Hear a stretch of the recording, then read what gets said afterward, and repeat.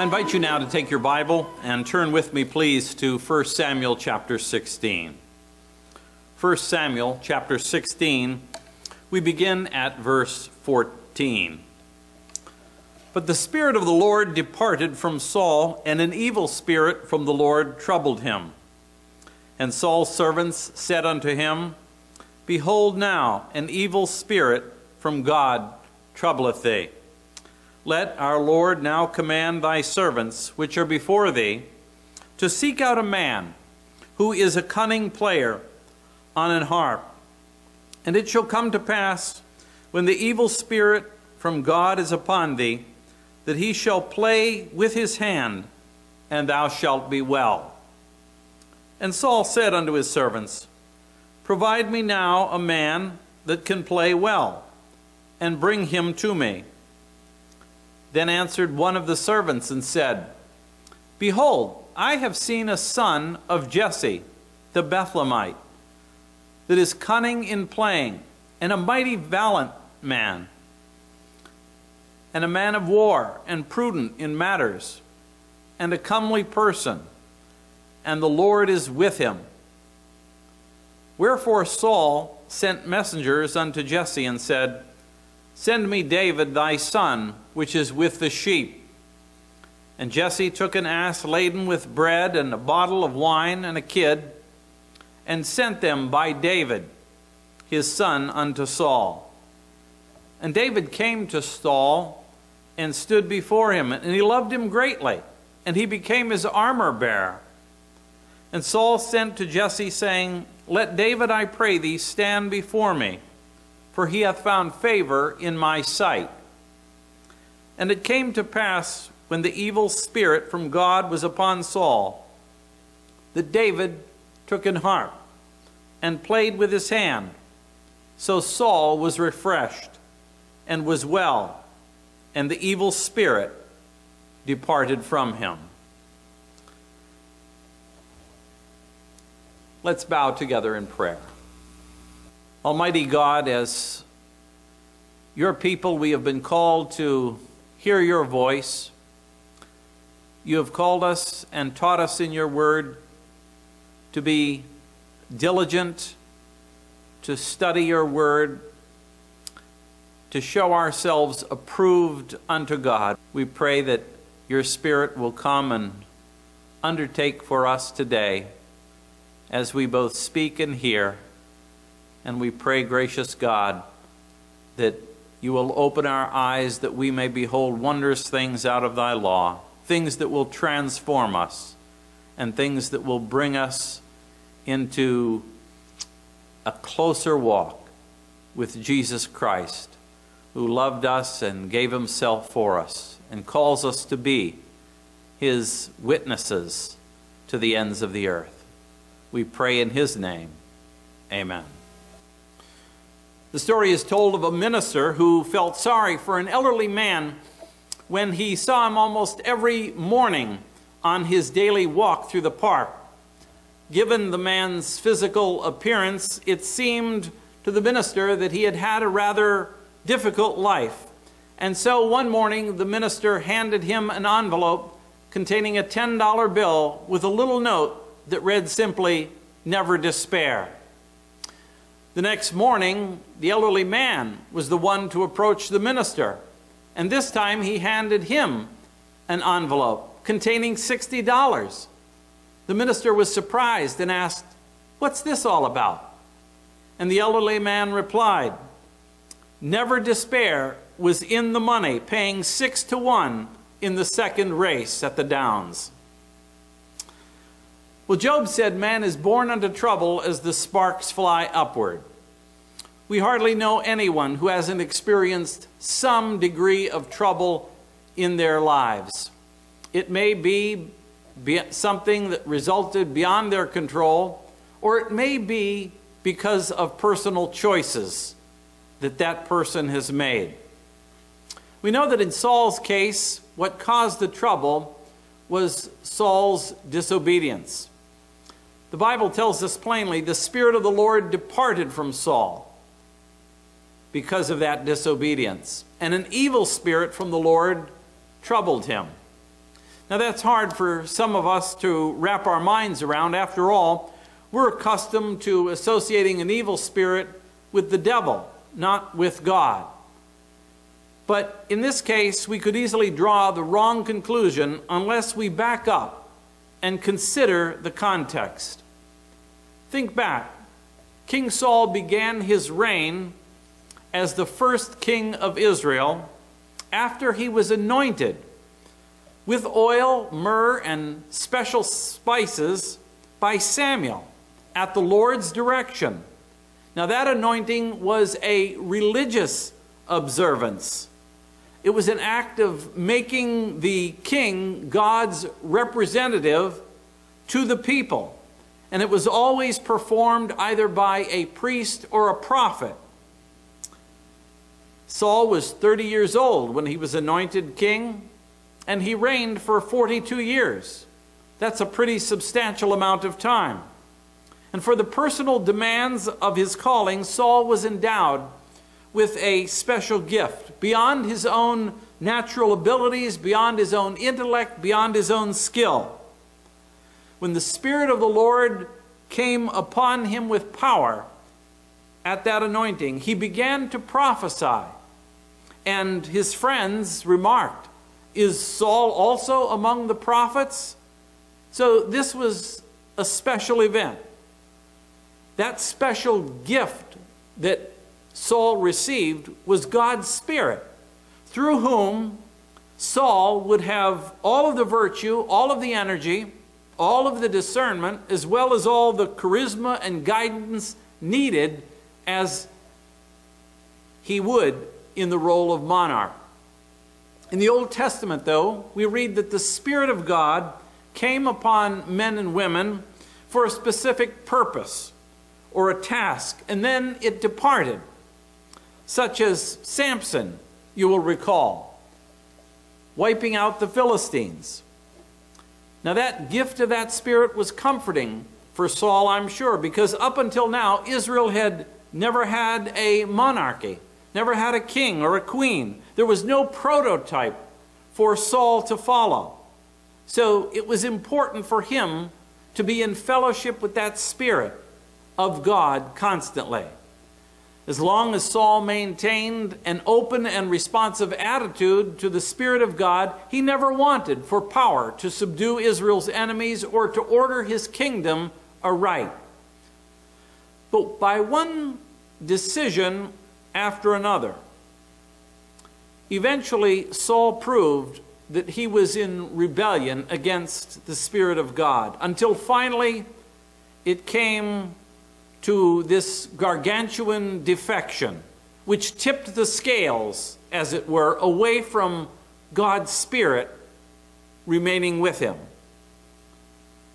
When the Lord made a decision to settle accounts with the nation of Amalek for having opposed Israel when it first came out of Egypt, God made it crystal clear what Saul's orders were. The Amalekites were a band of guerrilla terrorists who lived by attacking other nations and confiscating their property and their people, their families. Every bit as detestable as human trafficking now going on anywhere in the world today. As I said, they were the first to make life miserable for the Israelites as they were departing Egypt and heading out for Canaan.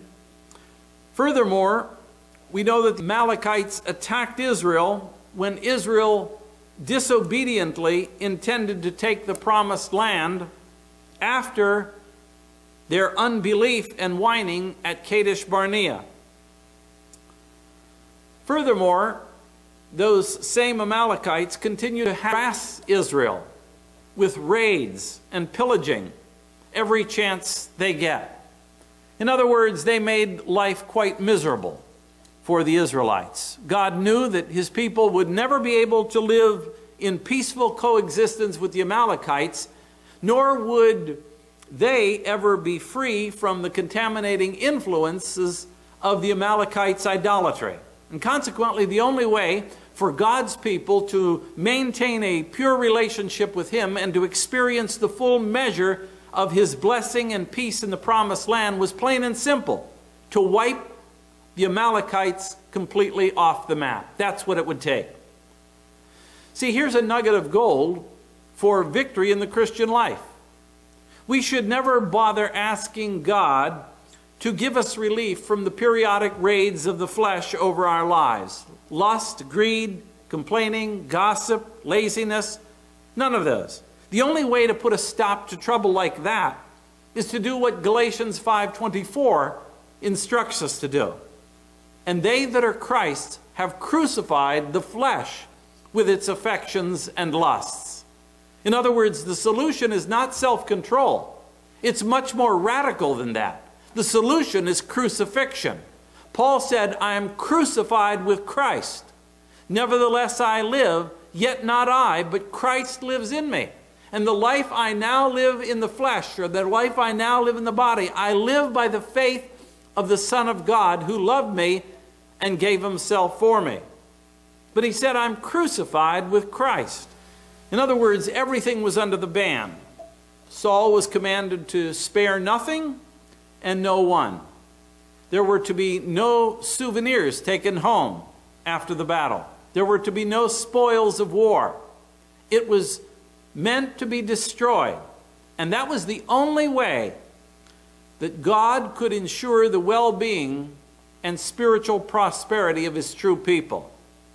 See, we're so used to pampering sin in our society today that we don't even recognize the need for this wholesale cleaning. Talk about social distancing and hygiene? Ha! We've been sleeping with the devil so long in America that there's been more attention paid to reopening bars, nightclubs, tattoo parlors, and nail salons than asking about when churches will reopen. And apparently nobody raises any objection to the inconsistency. But wherever we gloss over sin in order to protect what we already have, or for that matter, in the interest of getting something we don't have but want, we aren't being shrewd, we're being lewd. We're blatantly disobeying God Almighty, and there are consequences for such disobedience. At the Battle of the Amalekites, Saul mobilized 200,000 troops plus 10,000 more from Judah. They attacked, and God gave them a stunning victory over Amalek. King Agag was captured. King Agag, along with some of the best of the sheep, cattle, fat calves, and lambs, were spared, along with whatever else apparently looked good to Saul and his men. When asked about it, he replied that they thought that was apparently the thing to do, so that they would have sacrifices to offer to God. But Samuel came to him and challenged him and said, What meaneth the bleating of the sheep in my ears if you obeyed God? And then he reminded him, The Lord wants obedience rather than sacrifice. That's what he delights in. Now, that simple act of disobedience was this, apparently the straw that broke the camel's back. And after that, it was all downhill for Saul. Someone, not just sure who it exactly was, once remarked, Too bad Noah didn't swat those two mosquitoes. Well, that's a good point. Some small things often create big problems. Some years ago, actually, it was July 19th, 1989, the fifth deadliest crash involving a DC 10 in this country occurred out in one of the cornfields in Sioux City, Iowa in the crash landing with 296 passengers on board. 112 of those passengers died in the crash. Another 184 passengers survived. When the National Transportation Safety Board investigated, they found that the probable cause of that accident was inadequate consideration given to human factors and limitations in the inspection and quality control procedures used by United Airlines engine overhaul facility. It seems that there was a fatigue crack in the titanium alloy stage one fan disc rotor that began the size of a grain of sand that went undetected by ultrasound. Now, it's always tempting, you see, to rationalize our troubles by blaming someone else or something else, but the truth of the matter is, one small oversight is tantamount to a disaster. Is there any sin in your life that you've written off as too small, too insignificant to sweat the details? If so, be careful. Because the Bible says a little leaven leavens the whole lump. A small overlooked moral lapse in our lives has a way of bringing down our whole Christian testimony so that it crashes to the ground. In Matthew 12, Jesus said, But I say to you that for every idle word men shall speak, they will give account of it on the day of judgment. For by your words you will be justified, and by your words you will be condemned. Notice Jesus never said, Well, you'll have to answer for that book you wrote that misled so many people and was not truthful. No, no. It's not necessary to write a book. Jesus said, All you have to do is speak an idle word. And he said, Every idle word that has been misspoken, we will need to give an account of on the day of judgment. So when we ask, What's the trouble? Suffice it to say that for Saul it was disobedience, and in that, Saul is not alone. Someone said the best way to straighten out your youngsters is to bend them over your knee. Oh, but we are too civilized in a country, in, in this America. We're too civilized to do such a thing. Well, then we're too civilized to obey God's word because Proverbs 22:15 says foolishness is bound in the heart of a child, but the rod of correction will drive it far from him. However, the spiritual impact of having God's spirit withdrawn from Saul was only the beginning of his trouble. Saul now entered another phase of trouble that, quite frankly, is even scarier.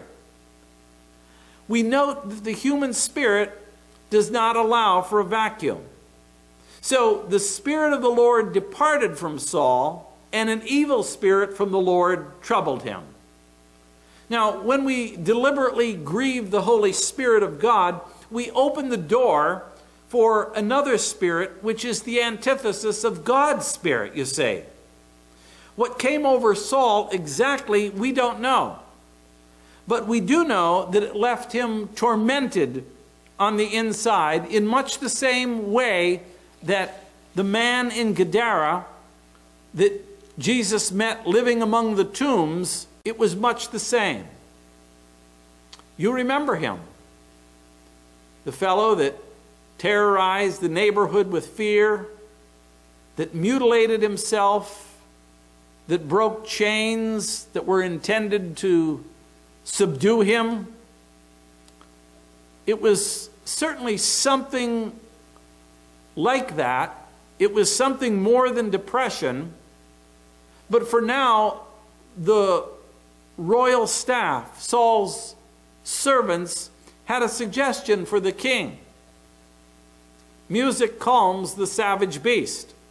Let's get someone in here to play some nice, beautiful music, and whenever this evil spirit comes upon you, O king, that person can play the music and help you relax and calm down. Well, the search for someone so skilled turned up a little young shepherd boy who apparently had lots of practice playing on the lonely hillsides at night as he took care of his sheep. And the question arises why in the world wasn't anyone fit to assume this job among the palace musicians? I mean, come on, there must have been someone among them who could perform this function on behalf of their king. But David was chosen, evidently over any of the palace musicians, because he played the harp to a different tune. David's playing was in concert with God's Spirit. It was delightful and it brought temporary soothing relief to Saul's distemper. And I believe that God added to David's skill something of his own grace for David's sake, perhaps, not for Saul's. His playing put Saul in a better frame of mind temporarily, but it really didn't strike at the root cause, you see. For Saul, the problem was deeper than depression, it was more like insanity. Later, he would try to pin David to the dining room wall with a spear on more than one occasion. Ultimately, it wasn't David's harp or music that Saul needed, it was David's God whom Saul had spurned. Music is good, Work is good, hobbies are good, recreation is good, but none of it can ever be used to cover over a troubled conscience that cries out to be restored to fellowship with God. Not for any of us. The only thing that will work in a case like that is confession of our sin, followed by repentance and asking for God's forgiveness. He that covereth his sins shall not prosper. But whoso confesseth and forsaketh them shall have mercy. Now, nevertheless, this was a providential arrangement, you understand. That David had been elected musician for the king's therapeutic music treatments. It was not actually Saul's benefit, but for David's benefit. Saul's need, it turned out, would present the perfect opportunity for this shepherd boy, who, by the way, unbeknown to Saul, had already been anointed king, to come inside, as it were, the government and to gain firsthand knowledge of the inner workings of leading the nation, being the king, what it was like, including what not to do. And the whole point of this passage is the beginning transfer of the kingdom of Israel after 42 years with Saul to now David. So, to summarize, the trouble of disobedience is often followed by the trouble of torment. But oddly, some trouble can be the sign of something good about to happen. Now, think of it while David was walking humbly with the Lord, yet the trouble for him was, in a sense, just beginning. And here's what I mean by that. Since he was just a teenager at the time of all of this, he had been anointed by Samuel as the next king of Israel to succeed Saul, and that meant he would yet face Goliath. He would yet be banished by King Saul. He would yet hide in the desert and live as a fugitive. He would be forced out of the nation. He would have to fight many battles in order to maintain the Lord's calling on his life. It would not be easy.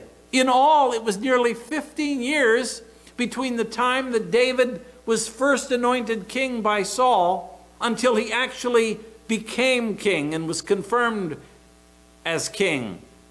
And most of that time, he experienced trouble with a capital T. He was tempted, he was tested, he was tried, and just like Joseph back in the time of Egypt, so God would use this time to convert him from being a shepherd boy into a king.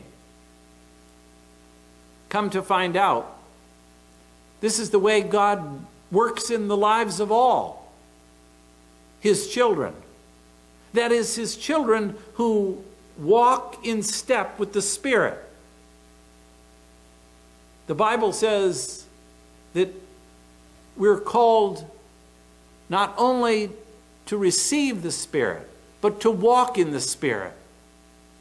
Now, it's counterintuitive, but trouble is opportunity in work clothes. Many years ago, there was a man by the name of Georgi Vins. He was another person who made the best out of life's worst.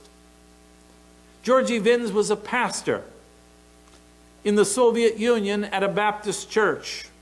And in 1979, he was arrested for resisting government controls. Then he was exiled in 1979 to the U.S. because of his Christian faith.